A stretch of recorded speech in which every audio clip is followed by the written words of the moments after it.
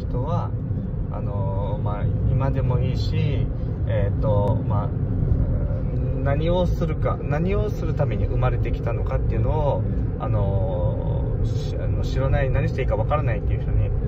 今でもいいし、まあ、もう年取ってもいいしとにかくあのお金もらってでももらわなくてもいいけれどもこれやってて楽しいこれがやってたら自分らしい生き方だなっていうのを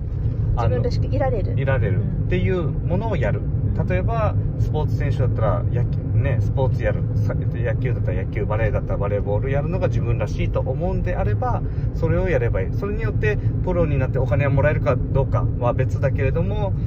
そういうものをあの自分で見つけていく。本当にそれがそれぞれの役人生の役割。それそれがまた人の役に立つもの、うんうんうん。まあ、好き例えば映画絵を描くことが好きだったら、うん。絵を描いて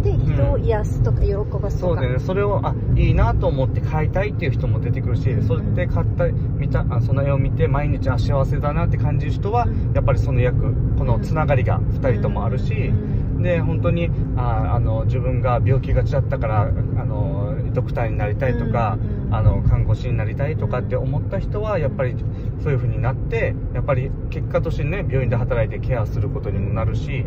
だからそれぞれがそれぞれ自分のやりたいことを自分ちゃんとあのアウトプット叶えていくってことは誰かの役に自然に立ってるし、うん、あのだから無理する必要がない